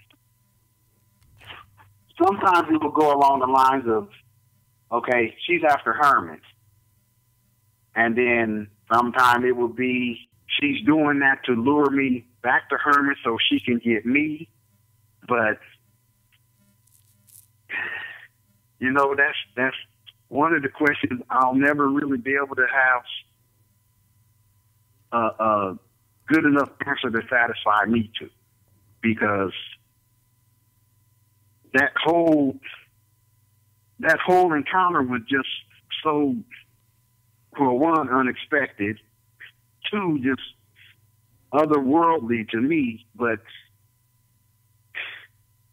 I, you know, Paul, I, I guess if to give you an answer right now, I'd have to say it's because he failed, or, and I'm just trying to be funny here Maybe because she had her face so close to him that she was really nearsighted and really couldn't tell if it was me or him. But, and I'm just trying to be funny when I say that. right. I honestly don't know what the intentions of that yeah that that thing was with him. I would I would have hated to be in his in his shoes when that happened, but you know, nothing nothing you do, say, or hear can prepare you to have something like that happen to you. And the funniest thing is, uh, somebody said stuff like that is not supposed to happen to black people. Now, why they said that, you know, anybody's guess. Because I'm like, okay, so you're trying to tell me these things is prejudice? Is, is that where you're going with it? He's like, but no, I'm not. I said that sounds to me like what you're saying because you're saying this not supposed to happen to black people. Why not? Well, I've never heard of a, a, a black person having that. I said maybe nobody black has come out and said that, or you haven't ran across a podcast where that a, a, a black person was uh, recounting their encounter. Well, yeah, yeah, that could be it. She's like, but that just was was really incredible, and you you can call it what you want. All I know is what happened to me in July in 1981, and it wasn't the night of a full moon. That's the thing that really gets me because I'm saying this is a werewolf, but with all the research I've done, it doesn't necessarily have to be a full moon. Right. You know. Yeah, that's a, a lot of that's Hollywood versions, and uh, I, I, do know that a lot of. I mean, especially when you're fooling with voodoo and hoodoo and the rougarou and the loup-garou, which are kind of the basically known as. It's just a two words of the same thing, but um, a lot of yeah, it, it's Hollywood that talks about the silver bullets and the full moons. So I mean, yeah, you you've done your homework for sure. I mean, I, I like I said, I didn't, I haven't even really been able, I hadn't even really been able to find out the stuff that I found out in the last three years over more than 30 years of trying to find answers. And if, you know, if I could have three of them answered, if I could have three questions, three questions about that night answered, I would, it would give me the peace that I, I think that I need dealing with that. One, I need to know, I would like to know if she in fact was that thing that showed up. Two, some of the the stuff that I've heard, I don't know if it's true or not, but they say that these things can take some of your soul. And maybe that's why she was looking in the Herman's eyes like that. Okay. Maybe that's why she was looking in the Herman's eyes like that. I don't know if that's true or not, but the third one is if I had shot that creature with that three, with my 357, if I had had it with me in her eye and killed her, where would I take her to get me a werewolf coat made?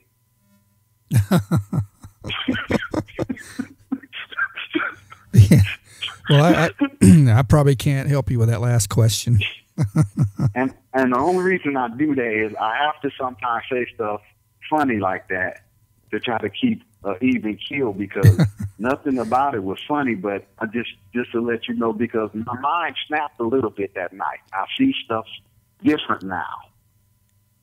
I see stuff in an entirely different light, and some people look at me and be like, "You're crazy." I'm like, "I'm not crazy. I just I'm say I'll say weird stuff like, okay, here's a, a example. Say me and you are riding down the street, and we pass a bus stop. There's a guy or a woman standing there digging in her nose, and then she's taking the produce that she get out her nose and she pops it in her mouth. now, you might say, "Oh my God, that is so gross and disgusting."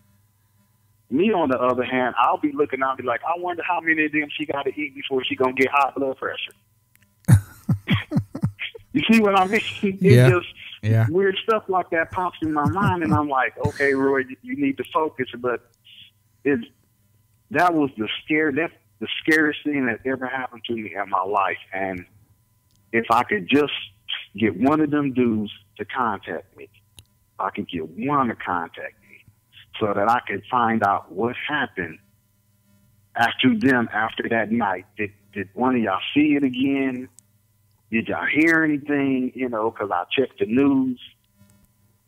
Well, uh, I, I, know you newspapers. Before we started, I you know I know you and I were talking earlier, and I mentioned Dark Waters, and you know that name, and uh, everyone down there knows that name, and you know he he may be um, the one to reach out and he may have heard about this account through some maybe some of the other guys because you know you're I, I, assume that you're no longer in New Orleans, but um, they probably still talk. They I'm sure that still goes on down there. So he's probably the he's probably the man I would talk to, and and I can probably try and, and put you in touch with him. He's a really good guy. Yeah, if you could do that, that that would be great. I'd greatly appreciate that. No, I, I moved all the way across the country. You got away from mosquitoes and werewolves. Yeah, but unfortunately, where I live at now, they be talking about skinwalkers and stuff. Oh my goodness! hey, that's another show, and I yeah, we'll have to talk about that one. yeah, because it, it's well, the, some of the stuff I hear about that, I'm like, oh my goodness, where can I go? I mean, I haven't seen anything, and I do go fishing again at night. I have when I go out to the big reservoir I never go by myself, and the person that I go with, where he brings two guns and I bring one, so we're we're we're well armed. But I haven't seen, heard, smelled anything other than the normal uh, wildlife that's around here. Of course, you know scorpions and rattlesnakes and black widow spiders and tarantulas and all that stuff. You you see them while you're out there, but nothing uh bigger than that, and uh, well, other than coyotes, but nothing bigger yeah. than that. And thank goodness, it's just this stuff has stayed with me for years, and I thought I had, I thought I had put it away. Like I said, until that one day I was on YouTube and just listening to music. I try to, you know, go back and listen to some Parliament and uh. Oh yeah. Boot, uh, George Clinton, Bootsy Collins. I know all about yeah, I was listening to them, and I'm trying to. Oh, and some uh, Earth, Wind, and Fire. I just was listening. These uh, the thing was going to the end, and you know, you're on your phone. If you just scroll up with your thumb, then it'll show some more videos. And I've seen a podcast for Sasquatch Chronicles, and I was trying to swipe it off the screen, and I guess I fat thumbed it, and it um it started playing, and I was away from my phone. I was listening to my Bluetooth, and I'm like, oh man, I said, well, I'm gonna finish smoking my cigarette, and I'll listen to this, and then I'll go back in and go back to the music. And some woman was talking about she was in the woods camping, and something came up to her tent where she heard it out going through her food stuff she had out there in her cooler, and she looked out the little screen window and seen something standing on two legs that was covered in hair, and she mm-hmm. zipped the tent back closed, and she had her dog with her, and her dog wouldn't go out. He was trying to climb up in her lap, and it was a hundred and ten pound German Shepherd, and then the thing came up and started sniffing around the tent, and till that's when the dog growled and started barking, and she heard it run off, and I'm like, what the heck is this? So yeah. I started searching for for cryptid stuff, and then I located uh, uh, Dogman Encounters Radio, and I started listening to that. And boy, some of the stuff that's on there make your hair stand up and lay down and stand back up. And yeah, I just I got back on. I'm like, okay, they got podcasts. Maybe I can find out. And I've only heard one other encounter where the person refers to what they saw as a werewolf, and it scared it it opened up that door, and I'm like, you know what? I got to get this off my chest. But I'm finding that each time I talk about it, it gets easier, and so I know my healing is still going on, but I am still healing from it because it it really it really took me to a, a dark place itself, just trying to deal with everyday, normal, everyday stuff because you're always looking around. You know, I'll be sitting somewhere and I'll hear some see some kids playing. They might be fighting with sticks, and one of them will swing the stick so hard, and the other guy will move the stick, and it hit the ground, and the stick break. I hear that snap, and I never heard that sound during the encounter. But instead of me focusing on the kids, I start looking around at the houses, looking across the street. I'm looking everywhere but at these kids, and you know, it just it, yeah. it just crippled me to a certain degree. That, but I'm I'm here to say that I'm I'm doing better. I'll probably won't get too much sleep tonight just thinking about it. But good God, to know that these things exist, and so many people want to tell you you're crazy or you tell you you're lying, you didn't see this. I'm like, out of all the things I could be doing or lying about, I could be trying to get a money scheme or something going. You think I don't get paid, to, you know, to talk about this. I just want people to know that these things are out there and they've been around for a long time, probably longer, way longer than uh, I had my encounter. And you need to be vigilant and make sure you check your surroundings. If you your sixth sense kick in that you need to get somewhere or be somewhere else, or don't go down that trail, or don't walk down that alley, or maybe it's not a good time to walk out of your job to your car because it's dark and it's at the opposite end, the furthest end of the parking lot listen to that feeling and don't do it because you never know if Yeah. that's going to be the night that you have an encounter. So Now, there's a reason. There's a reason people have that gut feeling, and uh, you, yeah, you're right. They need to listen to it. and after listening to, uh, I haven't listened to all the episodes that um, you have on YouTube, but I plan on doing it. But like I said, after listening to that uh, young lady in the UK with what she went through, and it wasn't so much what she saw; it was a big part of it. But the bigger part was how her life changed after that with her moving to you know even uh, fabricating some stuff so she could get out of the household that she was in to go to another household. That just you know that was a little extreme, but you know when that terror grips you like that, you Right. that just shows you willing to do whatever you got to do to get out of that area, and you don't never want to go back. So you know for the uh, people that listen to uh, my encounter, just remember this world is filled with things that we are taught from an early age doesn't exist. Now, I'm not saying don't not believe your your parents, but just keep an open mind to the possibility that maybe you'll see something that you were told doesn't exist. And if you got a gun, all I'm gonna say is if you don't have to shoot it unless it's, you don't have no other choice, don't shoot it. Just leave the area and leave that thing alone because I don't know if that 357 would have did the job. I, I, I would have rather had a bazooka, but well, or, just, or, or some rock salt and oil. So yeah, and you know if if uh, you know Paul, I just I just don't know why I had that encounter. The only thing that really sticks in my mind is it was supposed to be me on my back instead of Herman. You know, when I really think about it, I'm like, that was supposed to be me.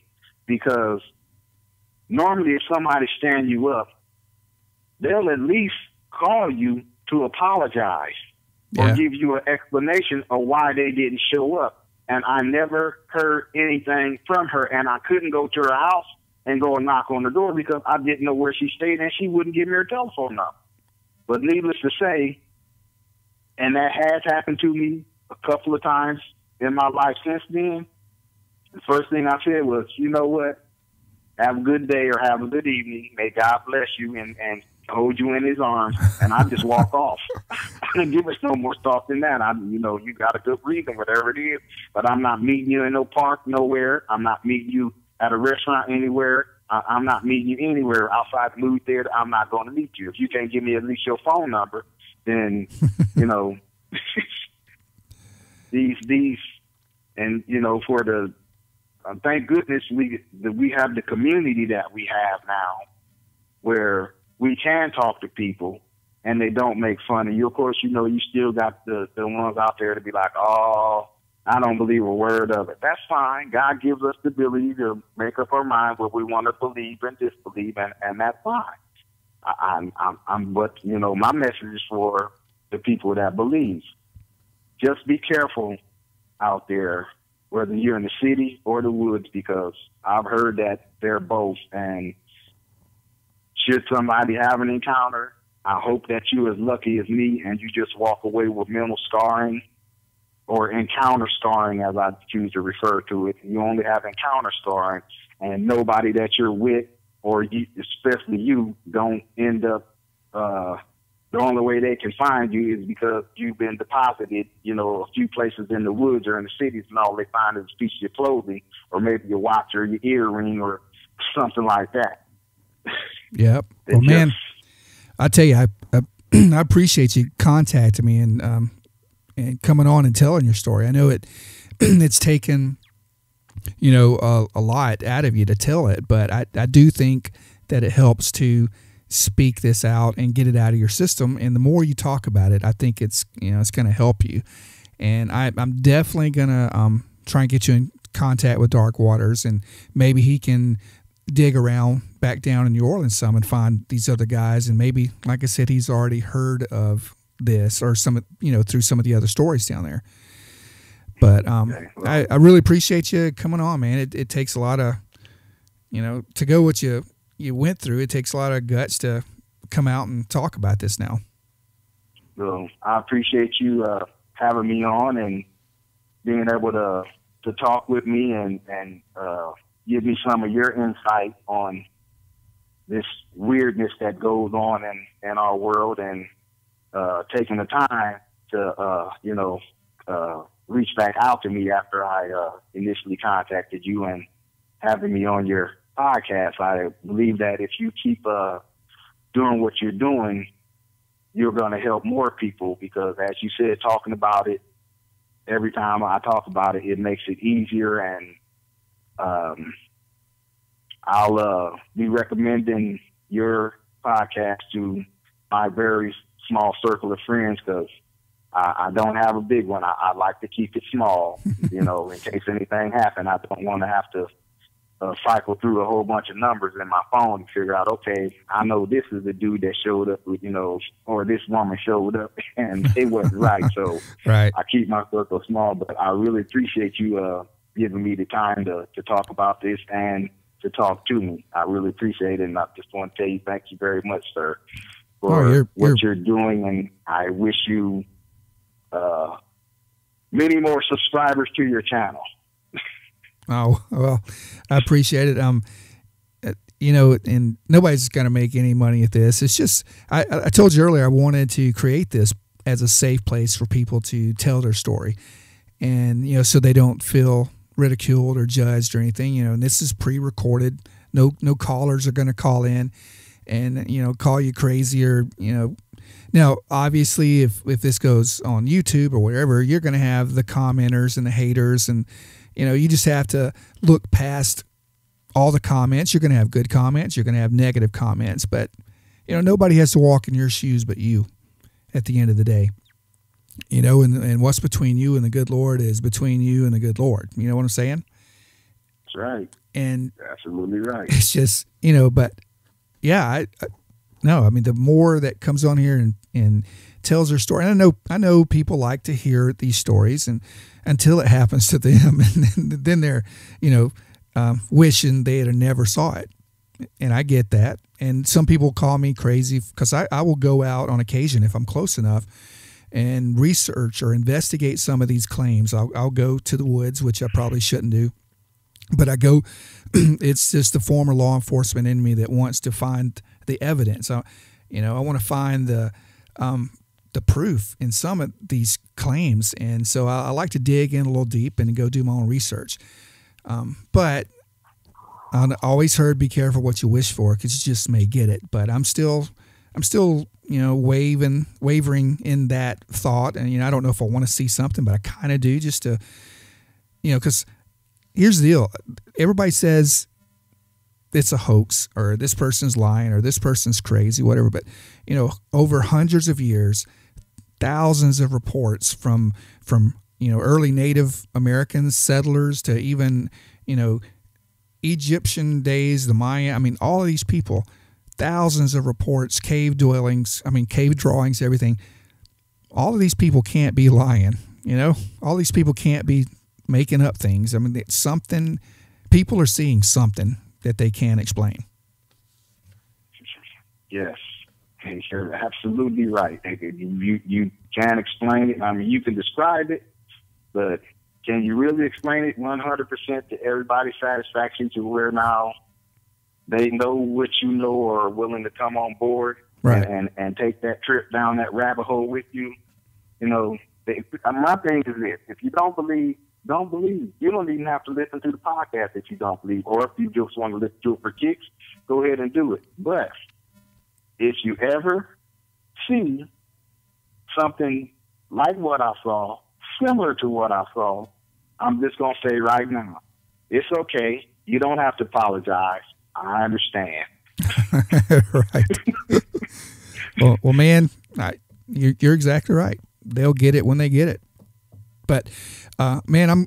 I hope I haven't kept you too long, but I greatly appreciate you come on, and I'll let you know when uh, this is going to air. And uh, man, I wish you the best of luck. And uh, you know, you've you've got my number, and if you ever need to talk or or just if something else happens, or if you're running across a skinwalker out there, feel feel free to give me a shout.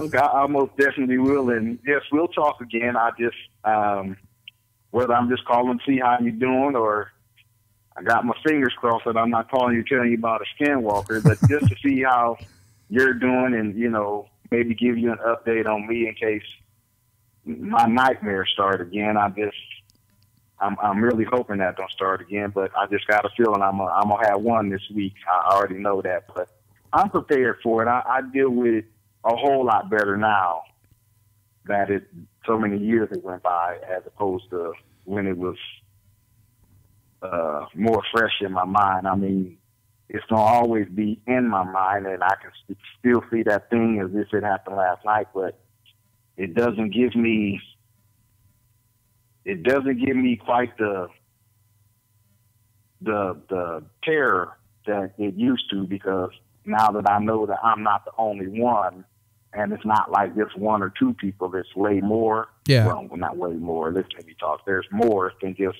one or two people. Then, if my mind is is at ease that I wasn't the only one that seen it. More people are seeing them, unfortunately, every day. Uh, probably as we speak, and somebody might be having a freaking encounter right now. And, right. Uh, just don't. That's happening. Yeah, just don't let it own you. You know, it, it doesn't.